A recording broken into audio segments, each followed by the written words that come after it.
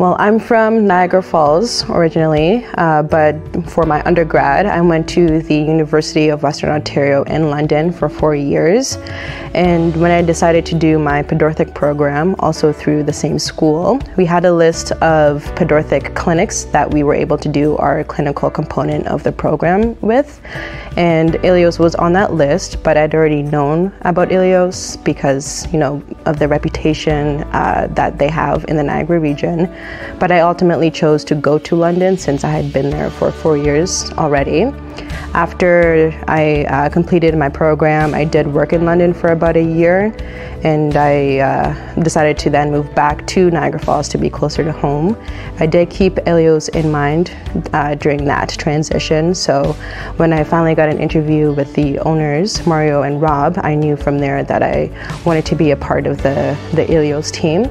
I met a couple of the practitioners too at that moment, and I saw how everyone worked well together. Uh, the clinic itself too as a business was great, so that's how I became part of the Elios team.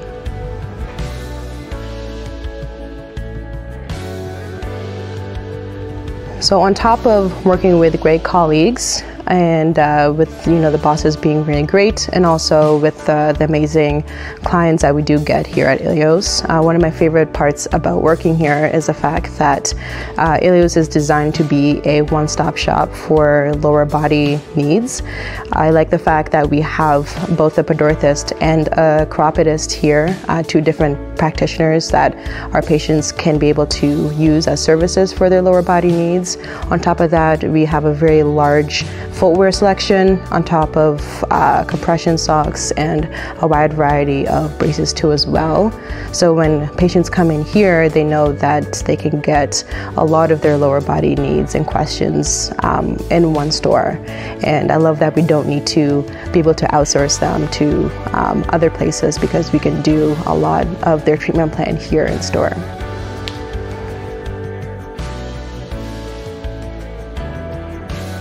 Outside of work, I enjoy staying as active as I can. Since I was very young, I had been playing a lot of sports, so I try to incorporate a lot of that into my life today. Some of the things I like doing, I like working out, I like walking my dog. Uh, when it's nice out, I enjoy hiking. I also like to experience new activities. Right now, I'm trying to get into Muay Thai and I'm having a lot of fun doing it.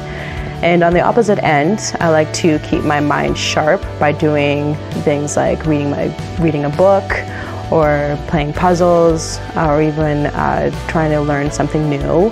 I also like listening to podcasts too as well. Uh, right now, I'm listening to a podcast called On Purpose by Jay Shetty, and the book that I'm reading is called The Intelligent Investor by Benjamin Graham.